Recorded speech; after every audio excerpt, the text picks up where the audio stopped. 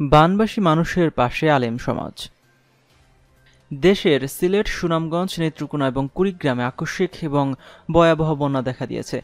বন্যার্ত মানুষের জন্য কাজ করেছে বাংলাদেশ সেনাবাহিনী সহ সরকারি, বেসরকারি বিভিন্ন প্রতিষ্ঠান এবং রাজনৈতিক দলের নেতাকর্মীরা। বানবাসী মানুষের জন্য যারা কাজ করেছে, তাদের ভেতরে আলেম সমাজের ভূমিকা অগ্রগণ্য। সংকটের প্রথম দিন থেকেই তারা মাঠে থেকে কাজ করেছেন। আলেম পরিচালিত এবং নেতৃত্বাধীন কিছু সংগঠন এবং সংস্থার ত্রাণ তৎপরতা তুলে ধরা হলো। প্রথমে আছে আচ্ছন্না ফাউন্ডেশন। এবার আকস্মিক বন্যায় ক্ষতিগ্রস্ত মানুষের মধ্যে এক হাজার মেট্রিক টন ত্রাণ সামগ্রী বিতরণের লক্ষ্যমাত্রা ঘোষণা করেছে আস্তন্না ফাউন্ডেশন। এরই মধ্যে তারা সাতশো মেট্রিক টন জরুরি ত্রাণ সামগ্রী কেনার কাজ শেষ করেছে, যা পর্যায়ক্রমে দুর্গত মানুষের মধ্যে বিতরণ করা হবে। গত তেইশে জুন আসন্না ফাউন্ডেশনের চেয়ারম্যান শায়েক আহমেদুল্লাহ এক স্ট্যাটাসে জানান, তারা বিশ হাজার বন্যার্ত পরিবারের জন্য ত্রাণ পাঠিয়েছেন।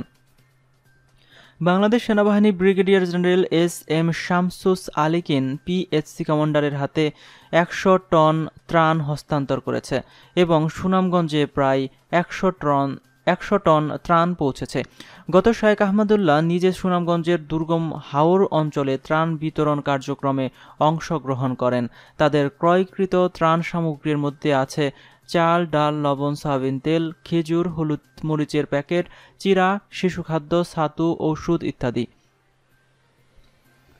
ইসলামী আন্দোলন বাংলাদেশ প্রাকৃতিক দুর্যোগ এবং নানা বিপর্যয়ে জনসেবা করে এরই মধ্যে সাধারণ মানুষ এবং গণমাধ্যমের দৃষ্টি আকর্ষণ করেছে ইসলামী আন্দোলন বাংলাদেশ। সিলেট বিভাগে বন্যা শুরু হওয়ার একদম শুরু থেকে বানবাসী মানুষের সাহায্যে এগিয়ে এসেছে তারা। মূলত দলের কেন্দ্রীয় কমিটির তত্ত্বাবধানে একযুগে কাজ করছে দলটির ছাত্র এবং যুব সংগঠন সহ সব সহযোগী এবং অঙ্গ সংগঠনগুলো। ইসলামী আন্দোলন বাংলাদেশের যুগ্ম মহাসচিব মাওলানা গাজী আতাউর রহমান বলেন, দলের আমির এবং নায়েবে আমিরের প্রত্যক্ষ নির্দেশনায় আমরা প্রথম দিন থেকে কাজ করছি। দলের আমির সৈয়দ মোহাম্মদ রেজাউল করিম গত একুশে জুন নিজে ত্রাণ কার্যক্রমে অংশগ্রহণ করেছেন।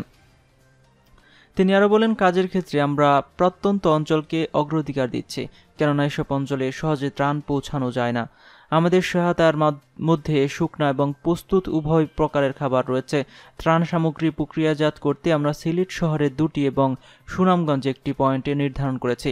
বন্যার পানি যেসব এলাকায় নেমে গেছে, সেখানে আমরা পুনর্বাসনের সহযোগিতা করছি। মানুষের ঘরবাড়ি, পুনর্নির্মাণ, বিশুদ্ধ খাবার, পানির ব্যবস্থা ইত্যাদি কাজে সাহায্য করেছি। বন্যা এবং বন্যা পরবর্তী সময়ে রুখ ব্যাধির প্রাদুর্ভাব দেখা দেয়। তাই আমরা একটি মেডিকেল টিমও গঠন করেছি, যারা বন্যা দুর্গত এলাকায় চিকিৎসা সেবা দেবে, চিকিৎসা সেবা দেবে। পিস অফ বন্যা এলাকায় people's improvement society of Bangladesh, অর্থাৎ পিস অফ উনিশে মে দুই হাজার বাইশ থেকে ধারাবাহিক কাজ করে যাচ্ছে। সিলেট এবং সুনামগঞ্জে এখন পর্যন্ত বন্যায় ক্ষতিগ্রস্ত সাত হাজার পাঁচশো পরিবারের মাঝে খাদ্য সামগ্রী এবং ওষুধ বিতরণ করা হয়েছে। এছাড়া সিলেট এবং সুনামগঞ্জের দুই শতাধিক ক্ষতিগ্রস্ত পরিবারকে মাছ ধরার বিভিন্ন ধরনের জাল, হাড়ি, পাতিল, টিন এবং দুই হাজার মানুষের মাঝে পুষ্টিকর প্রস্তুত খাবার বিতরণ করা হয়েছে। এছাড়া কুড়িগ্রাম, জামালপুর, কিশোরগঞ্জ এক হাজার পাঁচশো পরিবারকে ষোলো কেজি করে খাদ্য এবং ঔষধ বিতরণ কার্যক্রম চলছে। বন্যা পরবর্তী স্যানিটেশন, টিউবওয়েল, গৃহ সংস্কার, নৌকা, জাল বিতরণ কার্যক্রম, প্রক্রিয়াধীন। ওই প্রকল্প পরিচালনা করছেন মাওলানা ইমরান হুসাইন হাবিবি এবং তার সঙ্গীরা। খেলাফতে মজলিস। সিলেট এবং সুনামগঞ্জ অঞ্চলে প্রতিদিন প্রায় পাঁচ হাজার পরিবারের কাছে সহায়তায় পৌঁছাবে খেলাফতে মজলিস। বানবাসী মানুষকে সহযোগিতা করতে সিলেট জেলা ছাত্র মজলিসের পাঁচটি স্বেচ্ছাসেবক দল এবং জেলা খেলাফত মজলিসের দশটি স্বেচ্ছাসেবক দল একযুগে কাজ করছে। তাদের সহযোগিতার মধ্যে আছে শুকনা এবং প্রস্তুত করা খাবার। সিলেট বিভাগের বাইরে কুড়িগ্রামেও একটি কেন্দ্রীয় স্বেচ্ছাসেবক দল কাজ করছে। দলের কেন্দ্রীয় সহ প্রচার সম্পাদক প্রকৌশলী আব্দুল হাফিজ খসরু জানান, খেলাফতে মজলিস কেন্দ্রীয়ভাবে ফান্ড সংগ্রহ করলেও তাদের দলের সিলেট জেলা শাখার নিজস্ব বাজেট এক কোটি টাকা। বন্যার পানি নেমে গেলে তাদের পুনর্বাসন কার্যক্রম শুরু হবে। সিয়ানা ট্রাস্ট একটি গবেষণাধর্মী এবং বুদ্ধিভিত্তিক সংগঠন হলেও জনসেবামূলক কাজ করে যাচ্ছে সিলেটের সিয়ানা ট্রাস্ট। সিলেট বিভাগে যখন প্রথম ধাপে বন্যা শুরু হয়, তখন থেকেই বন্যার্ত মানুষের কাজ বন্যাত্র মানুষের জন্য কাজ করে যাচ্ছে বলেন জানান ট্রাস্টের পরিচালক মুফতি জিয়াউর রহমান। তিনি জানান, প্রথম ধাপের বন্যায় খাদ্য বিতরণ এবং পুনর্বাসনের লাখ টাকা বিতরণ করেছিলেন সিয়ানা ট্রাস্ট। দ্বিতীয় দাবে বন্যা শুরু হওয়ার পর এখন পর্যন্ত দশ লাখ টাকার খাদ্য সামগ্রী প্রস্তুত এবং শুকনা খাবার বিতরণ করেছে তারা। বন্যা পরবর্তী সময়ে পুনর্বাসন নিয়ে কাজ করার পরিকল্পনা আছে তাদের। পুনর্বাসন প্রকল্পের জন্য সিয়ানা ট্রাস্টের লক্ষ্যমাত্রা পঞ্চাশ লাখ টাকা।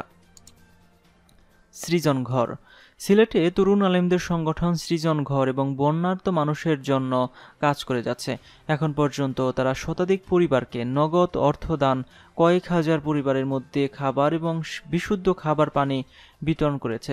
তরুণ এই আলেমরা শুধু নিজেরাই সহযোগিতা করছে এমন নয়, বরং পান, বানবাসী মানুষের জন্য কাজ করছে এবং এমন একাধিক সংগঠন এবং সংস্থার সঙ্গে স্বেচ্ছাসেবী হিসেবে সহযোগিতাও করছেন। এবং অন্যান্য সংগঠন। এছাড়াও আলেমদের নেতৃত্বাধীন বাংলাদেশি খেলাফতে মজলিস, খেলাফতে আন্দোলন, বাংলাদেশি ইসলামী লেখক ফুরাম ইমাম পরিষদ ইকরামুল মুসলিমিন ফাউন্ডেশন সাবু সাবিনিন, বারাকাহ ইত্যাদি সংগঠন এবং সংস্থা বানবাসী মানুষের জন্য কাজ করছে। সংগঠনটির অবকাঠামোর বাইরেও বহু আলেম শিক্ষা প্রতিষ্ঠান এবং মসজিদের পক্ষ থেকে বন্যার্ত মানুষের পাশে দাঁড়িয়েছেন। আজকের মতো পর্যন্তই ছিল। ভিডিওটি সম্পর্কে আপনাদের মতামত অবশ্যই কনবক্সে কমেন্ট করে জানাবেন। বিশ্বের সর্বশেষ নিউজ সবার আগে দেখতে আমাদের চ্যানেলটি সাবস্ক্রাইব করে পাশে থাকা বেল আইকনটিতে ক্লিক করে রাখুন। এতক্ষণ সাথে থাকার জন্য ধন্যবাদ সবাইকে।